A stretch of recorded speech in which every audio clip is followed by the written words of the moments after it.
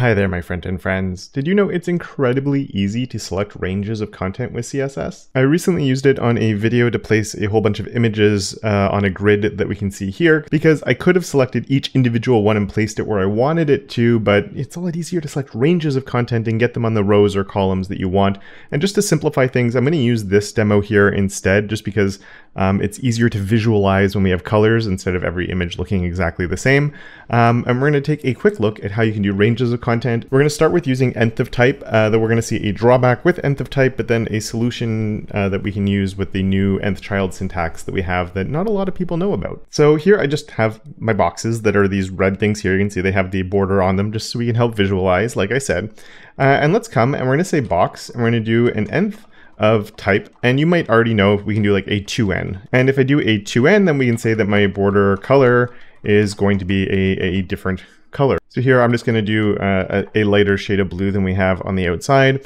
Um, and you can see that those have changed them because we've selected every second box and it's changed the color. Or I could make this a 3n and then I'm choosing every third box and I'm changing the color of it. Now let's say you wanted to select every element in this column here. That could be a little bit tricky, but we could just do a 4n to select every fourth one, but then we can tell it to start counting from the second one. So we're starting at the second one and then we're going one, two, three, and then the fourth one. One, two, three, and then the fourth one right there. So we're selecting that entire column. I want to make it the last column. I just do to the starting at the fourth one. I want to do it from the first. I just do a plus one and it moves over to the beginning. Now this isn't really a range of content. I realize that, but we're going to get there in a second. But this idea of being able to select a specific column is going to be really important for what we want to do here. Because what we can do is instead of doing every fourth one, we could actually say n and then say plus 2. And that means we're going to select every element starting after this, because this is like same as 1n. So we're selecting every element, but starting at the second one. Or we can say starting at the third one. Or we could say starting at the fourth one. And then we're selecting every element from that point forward. But with CSS, you can also do this backwards, and you can do that with a negative n or a negative 1n.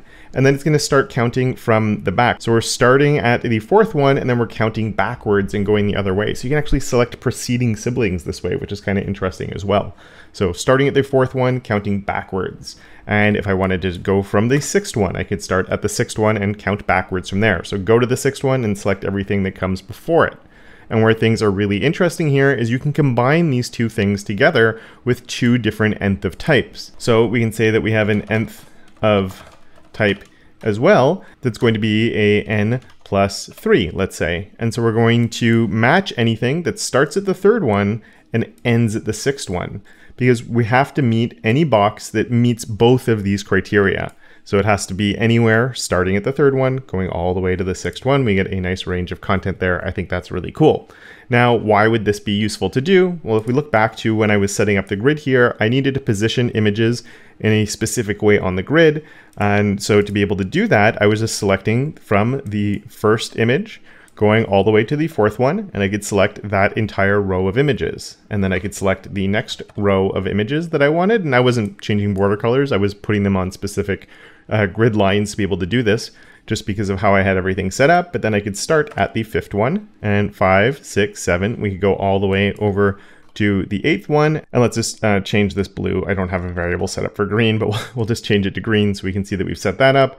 Uh, and then if I wanted to select those ones, I could do it as well, going from the 9th, 10th, 11th, and up to the 12th one. Now there is one limitation of this, which is if you come in, and this is just a limitation of how nth of type works, and I'm going to come on this one here, and I'm going to call it not a box.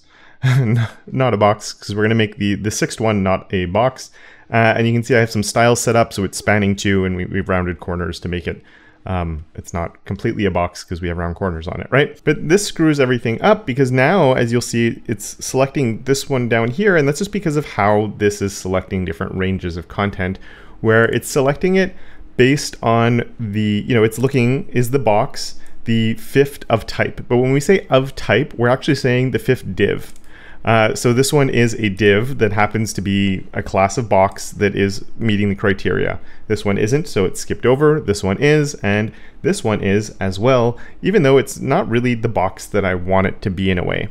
So I'm going to comment this out um, so we can explore another one. Just to say right now, if I change these from nth of type to nth child, um, it would work exactly the same basically just because we only have these things in here.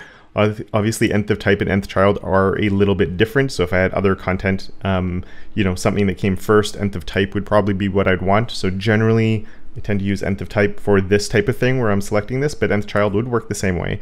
But let's say we did box, um, and we're gonna see, because nth child does have one thing that nth of type can't do, and that's what I want to explore here. So let's say I want to select these two here and th this column here. I want to select my second column and my fourth column. Well, if I said nth child 2n, um, we can see this, uh, let's just do a border color of green on here so we can see them and it's going to select every second one. The problem is that throws everything off, and if we did this with nth of type, it would be the same thing. nth of type, we're going to have the exact same pattern coming on there. I'll just make it yellow so we can see that it um, it's still working. So with either one of these, it's not going to work. But if we use nth child now, I can say nth child 2n of box. And it's only going to select the second of each box. So it's not selecting this one, we're getting the second box. Not that one, the third box. Not that one, this is the fourth box. Not that one, the fifth box, not that one, the sixth box, every second box. So we're, we're skipping this entire thing as one element um, rather than skipping the way it was here where it was doing, you know, it was counting this sort of as an element, but then that didn't meet the criteria. So it was yes, no, yes, no. And then this is no, but just because it's not the right element, but it doesn't count, so we're, we're getting to the negative here as well. So just every second one, but it's not the nth child, so it's not matching. So I'm just you know, we can do of box now, and we can actually select things based on their classes as well. And there's a whole bunch of possibilities that do open up. Just know that the this is a lot newer, so the browser support isn't as good. This you could, these types of ranges that I looked at uh, first, those you can use anywhere you want, no problem at all. I'll link to can I use in the description if you want to check browser support of the syntax that we see right here though. Now, if you are interested in seeing a bit more and how I did this, where it's you hover over the name and it, it highlights the, the person, or if I highlight the person, it also highlights their name. As I said, I did a whole video on this and it's with CSS only, no JavaScript involved, really actually surprisingly easy to do. Uh, so if you'd like to see that video, it is right here for your viewing pleasure. And with that, I would like to thank my enablers of awesome, Andrew, Simon, Tim, and Johnny, as well as all my other patrons for their monthly support. And of course, until next time, don't forget to make your corner of the internet just a little bit more awesome.